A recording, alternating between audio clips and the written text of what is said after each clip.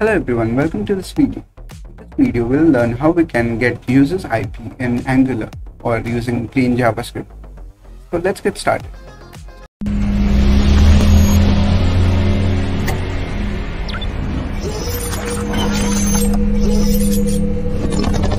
For this we'll use a public API that is this one ipapi.co slash json. You can see we get the JSON response with all the details from this API. So let's integrate this to Angular. So I'll just go to source and then go to app and I'll just go to app component.html and remove everything.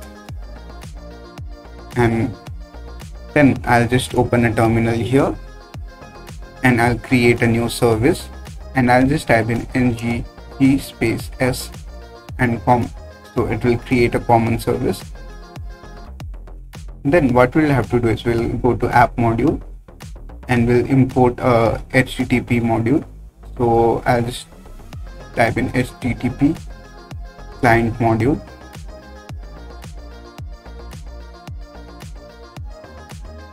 And import this from at the rate angular core and also add in an import for this. So i'll just type in import http client module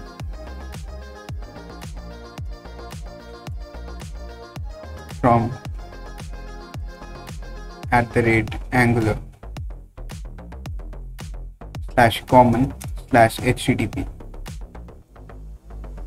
so now we have the import setup. Now we'll just save this and just go to common service. Now inside the constructor what we'll do is we'll type in private http of type http client and we'll also add in uh, import for this http client. So i'll just type in import http client from angular at the rate http what we'll do is we'll just create a function that says get ip we'll return a http request from this. I'll just type in return this dot http dot get. And then we'll paste in the url that we just saw so I'll just go to the browser and I'll copy this and I'll just paste it in here. Now what this does is it will make a get request to this API and get the details provided by the API so we have the API now. So what I'll do is I'll just go to app component.ts now here we'll have to create a constructor. So I'll just create a constructor. And inside of this constructor we'll create a private property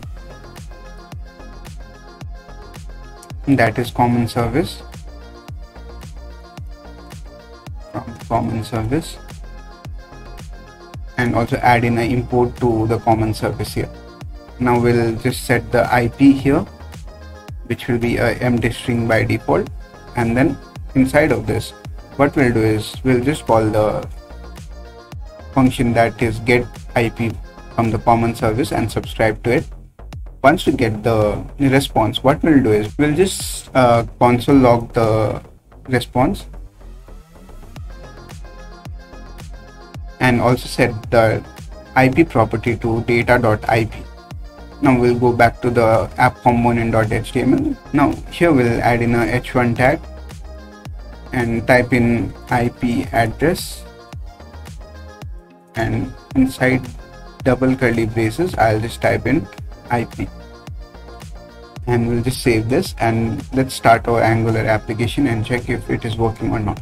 Now the angular application has been compiled so let's go to the browser and check. So i'll just go to localhost 4200 to check if it is working or not.